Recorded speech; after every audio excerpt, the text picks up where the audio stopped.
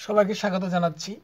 আমরা আজকে একটি অঙ্ক করব, কিন্তু এই একটি অঙ্কের সাথে রিলেটেড করে আমরা আরও কয়েকটি অঙ্ক দেখব। মানে একটি অঙ্ক দেখে একই রকম আরও কয়েকটি অঙ্ক আমরা জেনে নেব এবং সবগুলো শর্টকাটে দেখব। প্রথমে বিস্তারিত আলোচনা করব, কারণ আমরা বিস্তারিত আলোচনা করলে আসলে বুঝব না যে শর্টকাটটা কীভাবে হয়েছে। মূলত যে কোনো অঙ্কের বিস্তারিত করার পরে লাস্টে যে দুটা লাইন আসে, সেই দুটা লাইন থেকে কিন্তু শর্টকাট হয়। সুতরাং আমরা একটু খেয়াল করলে কিন্তু শর্টকাটটা নিজে থেকেই পেয়ে যাই। তো আমরা প্রথম অঙ্কটা বিস্তারিত আলোচনা করে আর শর্টকাটটাও নিয়ে আলোচনা করব। তো এই অঙ্কটি লেখার উদ্দেশ্য হচ্ছে, এই অঙ্কটা গুরুত্বপূর্ণ এবং প্রায়ই হচ্ছে আসতে দেখা যায়। সরাসরি এটা এখন আসে না, এটা খুবই সহজ। কিন্তু একই রকম রিলেটেড করে একটু কঠিন দেয়। তো আমরা এটার সাথে ওইটাই দেখাবো যে এটা দিয়ে ওটা কীভাবে আসলে করা যায়। ক বারো দিনে একটি কাজ করে, খ চব্বিশ দিনে একটি কাজ করে। তাহলে তারা একত্রে কত দিনে কাজটি শেষ করতে পারবে? এটা খুবই সিম্পল একটা অঙ্ক এবং হচ্ছে এটা আমরা জানি যে সেভেনের বইয়ে আছে হ্যাঁ? তো এই রকম অঙ্কগুলো আমরা কি করব? বারো দিনে ক যে এই কাজটা করে, তাহলে আমরা লিখতে পারি বারো দিনে এই যে একটি কাজ করে। তাহলে একদিনে কত করে? এই যে বারো দিয়ে কিন্তু বাঘ হয়ে গেল। কারণ একদিনে করলে কাজ কি? খুবই কম করবে। অনেকে আমাদের এখানে গুণ বাক নিয়ে সমস্যা হয়। যে বারো দিনে যেহেতু একটি কাজ করে, তাহলে একদিনে করলে বারো ভাগের এক অংশ কাজ করবে, খুবই কম করবে। খ, চব্বিশ দিনে যদি একটি কাজ করে, তাহলে একদিনে সে কতটুকু করবে? চব্বিশ ভাগের এক অংশ কাজ কিন্তু সে করবে। তো এখান থেকে আমরা যদি বলি যে ক, খ একত্রে, তাহলে একদিনে কতটুকু কাজ করতে পারতেছে? ক যেহেতু বারো ভাগের এক অংশ করে, খ চব্বিশ ভাগের এক করে, তাহলে আমরা বলতে পারি না যে ক যুগ খ একত্রে একদিনে করে, একদিনে কতটুকু করতেছে? এই দুইটা যোগ করে দিলে কিন্তু আমরা পেয়ে যাচ্ছি। তাহলে যেহেতু নিচে বারো এবং চব্বিশ, সুতরাং নিচে চব্বিশই হবে। বারো দিয়ে চব্বিশকে ভাগ করলে হচ্ছে দুই, উপরে এক। মানে কি হচ্ছে? চব্বিশ ভাগের তিন অংশ কাজ কিন্তু তারা একদিনে করতে পারছে। তাহলে ক এবং খ একত্রে একদিনে করতে হচ্ছে চব্বিশ ভাগের তিন। এটাকে কেটে আমরা আট ভাগের এক লিখতে পারি। হুম? মানে আট ভাগের এক অংশ কাজ। তো এই জায়গা থেকে আমরা উত্তরটা কিন্তু আর অঙ্ক না করেও বলে দিতে পারি যে কি হচ্ছে। কারণটা কি? কারণ ক, খ আট ভাগের এক অংশ কাজ করে একদিনে। এই যে আট ভাগের এক অংশ কাজ করে একদিনে, তাহলে আমরা জানি এক মানে হচ্ছে সম্পূর্ণ কাজ। তো একবার সম্পূর্ণ করে কত হবে? এই যে উল্টে গিয়ে এই যে আট দিন কিন্তু হয়ে গেল।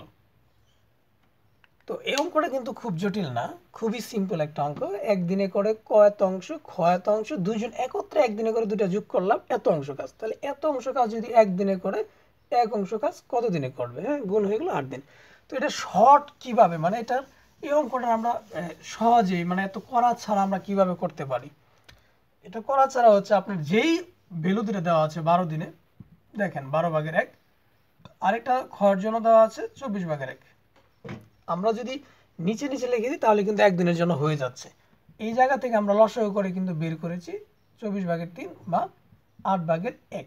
এই যে যে ভগ্নাংশটা পেয়েছি, আমরা যেহেতু এখানে বারো দিনে এক অংশ কাজ করতে পেরেছিল, বারো দিনে এক বা সম্পূর্ণ কাজ করেছিল, তারপরে এটাকে এক বানাইছি, বারোটা ভাগ হয়েছে মানে ভগ্নাংশ থাকার কারণে এটাকে উল্টে দিলে কিন্তু আমার দিন পেয়ে যাচ্ছে। আট ভাগের এক অংশ কাজ করতে পারে একদিনে মানে আট দিনে সম্পূর্ণ কাজটা করতে পারবে। আট দিনে এক অংশ কাজ করতে পারে, তাহলে একবার সম্পূর্ণ কাজ করতে পারবে আট দিনে। কথাটা বুঝেন নাই? আট ভাগের এক অংশ কাজ ক খ একত্রে একদিনে করতে পারে। এর মানে কি?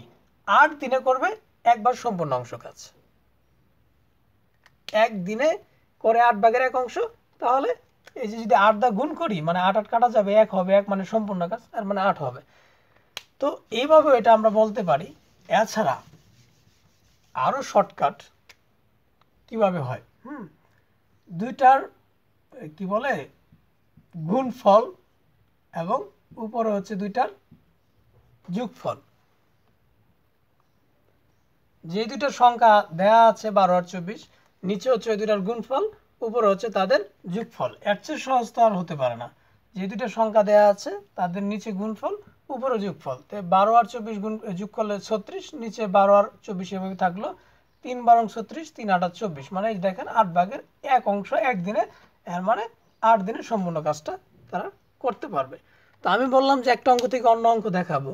এই একই অঙ্ক যদি নল দিয়ে হতো, যে একটি নল, হুম, এই কি বলে, একটা আট ভাগের এক অংশ পানি সে ফিল করছে, আরেকটি নল মনে করেন বারো ভাগের এক অংশ পানি ফিল করছে। তাহলে দুটি নল একত্রে ফিল করতে কত সময় লাগবে? তো এখান থেকে আমি কিন্তু ওই যে একটা- অংশ কমিয়ে দিলাম যে একটি নল আট দিনে সম্পন্ন করে এক অংশ, একটি নল একটি ট্যাঙ্ক আর কি, আর দ্বিতীয় নলটি বারো দিনে সম্পন্ন করে একটি ট্যাঙ্ক। সেখান থেকে আমরা এক দিয়ে বের করলাম যে একটি নল এক দিনে সম্পন্ন করে আট ভাগের এক অংশ, বারো ভাগের অংশ, দুইটা যোগ করলে কিন্তু আমরা ফেল ফেলারটা পেয়ে যাচ্ছি। সমস্যাটা হয় বলে যে তৃতীয় নল দ্বারা খালি হয়, মনে করেন, পনেরো দিনে। তাহলে পনেরো দিনে খালি হয় এক অংশ, একটি নল মানে একটি ট্যাঙ্ক তাহলে একদিনে খালি হয় কত? এই যে এক ভাগের পনেরো। তাহলে কত দিনে এভাবে যদি খালি হওয়া এবং দুইটা দিয়ে ফিল আপ একটা দিয়ে খালি হওয়া থাকে, তাহলে এটা কত দিনে সম্পূর্ণ হবে? ওই যে কিছুক্ষণ আগে যেই জিনিসটা লিখেছি, ঠিক একই রকমভাবে এই দুইটা যোগ করে এই নিচেরটা বিয়োগ করে দিব। আমার যাই থাকুক না কেন, আমার মানে খালি আর পূর্ণ নল থাকলেই কাজ হচ্ছে যে দুইটা পূর্ণ করবে, ওই দুইটা যোগ আর অন্যটা বিয়োগ। এটা হচ্ছে সবচেয়ে সহজ মনে রাখা। এর চেয়ে যদি বেশি শর্টকাট করতে চান, তাহলে দেখবেন যে আবার ভুলে গেছেন। যে দুইটা পূর্ণ করে, সে দুইটা যোগ, যেটা খালি করে, সেটা বিয়োগ। এই যে অংশটুকু পাবো ক্যালকুলেশন করে, সেইটুকু হচ্ছে আমার হ্যাঁ একদিনে একদিনে পূর্ণ। বা যদি ঘণ্টা থাকে, তাহলে ঘন্টায়। তাহলে এই যে এখান যেটা পাচ্ছে, এটা হলো একদিনে পূর্ণ করে এত অংশ। তাহলে এত অংশ পূর্ণ করে একদিনে এক অংশ বা সম্পূর্ণ। মানে এটা যদি ভগ্নাংশ আকারে হয়, মনে করেন এক্স এবং ওয়াই তাহলে কাজটা হবে কি? জাস্ট এটা উল্টে গেলেই সেটা হয়ে যাবে আমার সম্পূর্ণর জন্য সময়টুকু। এত অংশটুকু একদিনে সম্পূর্ণ করে, তাহলে সম্পূর্ণ অংশ সম্পূর্ণ করবে যা সেটা উল্টা দিলেই আমার অঙ্কটা হয়ে যাচ্ছে। তো ধন্যবাদ সবাইকে। আশা করি আমরা একটু হলেও বুঝতে পেরেছি। তো লাইক কমেন্ট সাবস্ক্রাইব করে সাথে থাকুন। ধন্যবাদ।